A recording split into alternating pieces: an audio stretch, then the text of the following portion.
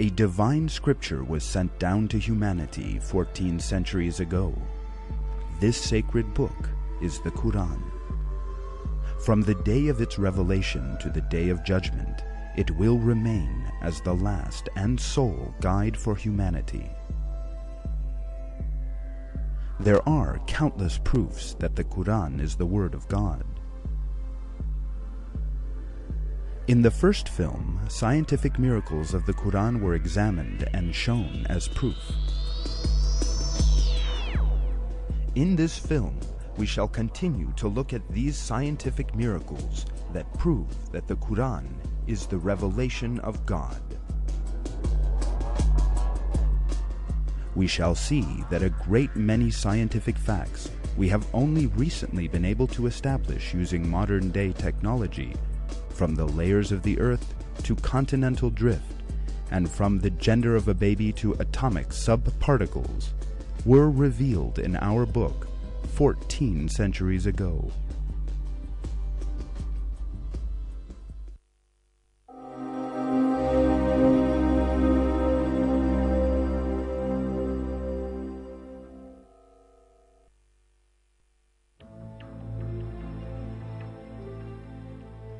The Big Bang Theory, which the scientific world unanimously accepted in the 20th century, proves that the universe came into being with a giant explosion. One verse of the Quran that revealed this fact 1400 years ago reads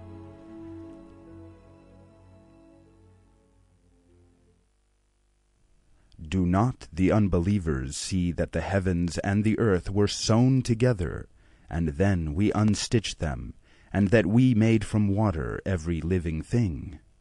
So will they not believe?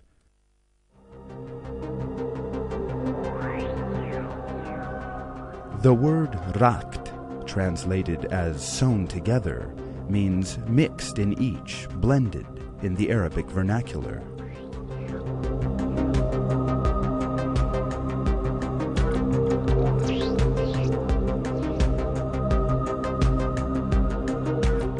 The phrase we unstitched is the verb fataqa, and in Arabic it implies the tearing apart of a structure of things that are sewn to one another.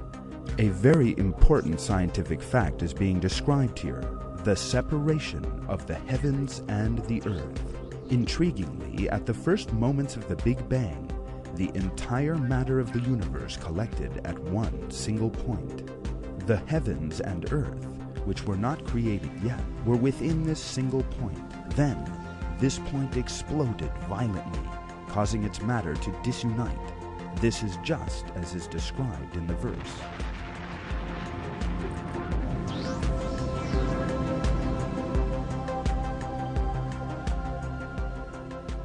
People 14 centuries ago, of course, possessed no scientific knowledge or technology by which to know that the earth, the sun, the moon, the stars, and everything they saw or that which was invisible in the skies had initially been united in a single point.